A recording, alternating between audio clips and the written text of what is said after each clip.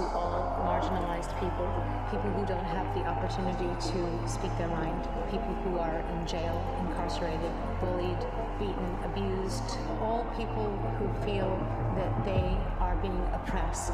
I hope that this song gives people hope and courage to be who they are and to not be afraid that us kids don't know what we're talking about, that we're too young to understand how the government works.